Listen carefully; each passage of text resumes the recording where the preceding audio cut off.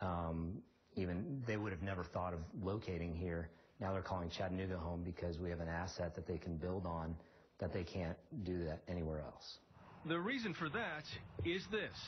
The fiber optic lines that can provide anyone in a 600 square mile area that gig of online speed. To put that gig in perspective, the average American home gets about 5 megabits of internet speed.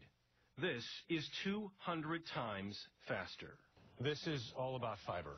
It's all about fiber. Harold DePriest is president of Chattanooga's Electric Power Board. What fiber does is collapse time and space. So the, the very uh, fringes uh, of our network, which is way, way out in the country, it's just exactly the same as if it were in the middle of downtown Chattanooga. Fiber lines have been in use since the 1960s, but they almost never were carried into individual homes. Here they are. We basically, we built this interstate highway system, but we didn't put a lot of off-ramps. What we're building is the off-ramp. We're building the off-ramp that comes into the city streets and then all the way up to the up to your driveway. The board initially installed the fiber lines as an energy savings tool, so power outages could be restored faster, in seconds and seconds. But the $300 million investment paid off in unanticipated ways when internet service was rolled on top of it. It's like having electricity 10 to 15 years before any other community has electricity. Since the gig was launched, entrepreneurs all the way from California to Ireland have arrived to test just how far it will go, bringing with them $400 million in investment money and 6,000 jobs, many of them heeding Grizzle's call. Start building applications now, start building devices now, or if you're building them somewhere else, come test them here now because how the rest of the world is going to look in 10 years is how Chattanooga looks today. There must have been a lot of people who said, you can't do this.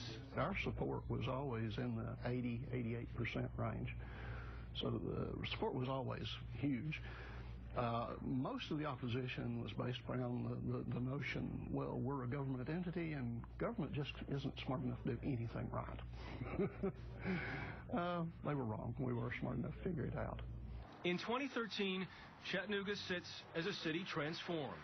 The best of the old world combined with the best of the new, and an unlikely example for the rest of the country. We live in a day and age when people blow smoke all the time. They talk about what they're going to do, and their talk exceeds what they're really doing.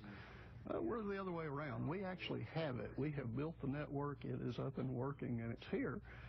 But a lot of people have to come and see it to believe it.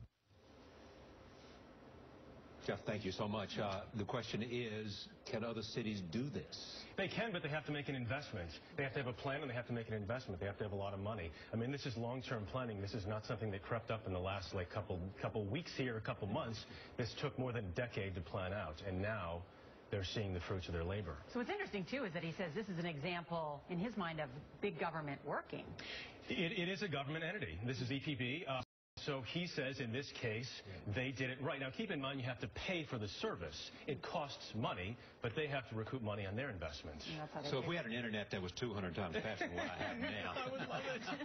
Netflix. So I have the question before I typed it in. Netflix all day long. That's right. And remember, this is also partially House a story of, cards. of unintended, yes, indeed, of unintended economic consequences. Yeah. This is something they first put up so that they could um, restore power outages faster yeah. in seconds instead of days. And they said, wait a minute, we can roll the internet on top yeah. of this. What's interesting about this to me is that, you know, this idea government can do interesting things. Mm -hmm. You know, and the private and the public working together made a difference for a city. Anything, anybody can do something interesting. Yeah. It just has to be planned out the right way. And funded well. And funded the right way. Yeah. All right, Chattanooga. Love yeah. Chattanooga. Jeff Glor, thank you.